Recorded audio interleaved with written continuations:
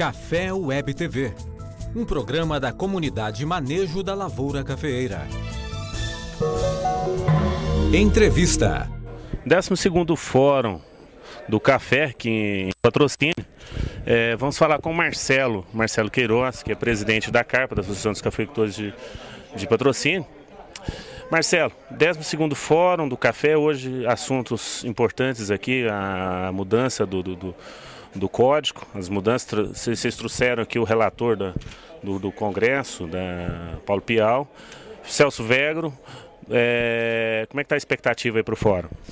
Bom, Sérgio, a expectativa é muito boa. Nós estamos aí já realizando a 12ª edição do fórum e, como você disse, estamos trazendo aí palestras importantes, principalmente a questão, a abordagem do, do Código Florestal, que foi aprovado recentemente e sancionado pela presidente e agora teve alguns é, vetos aí parciais e nós é oportunidade ímpar aí de estarmos aí ouvindo o relator também, o deputado Paulo Pial, para que a gente possa estar trocando ideias, sanando dúvidas, porque ainda existe é, várias dúvidas com relação a esta aprovação, o que pode, o que não pode, e a questão também estadual.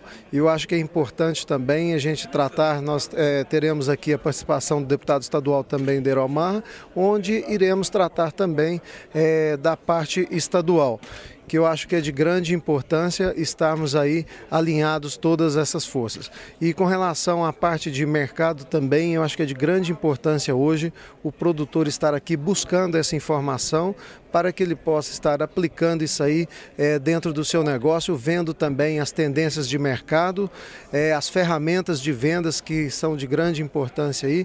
Hoje o produtor, a cafeicultura é muito dinâmica, então nós temos que acompanhar essa evolução também da questão das vendas futuras. E nós é, tivemos aí é, a oportunidade também de trazermos aí dois palestrantes é, na área de mercado e na área econômica para estar aí dando um norte para os nossos produtores. Marcelo, saindo um pouquinho do, do, do fórum do café, colheita, está começando agora, já início. Como é que está a expectativa aí? Está tendo alguma dificuldade para a colheita? Não? Como está o estágio de maturação? Sim, é importante lembrar, Sérgio, até esse evento, essa data 1 de junho, é um marco também da nossa colheita aqui na região do Cerrado, onde estamos iniciando as nossas colheitas. É, grande parte dos produtores estão iniciando, dando início à colheita.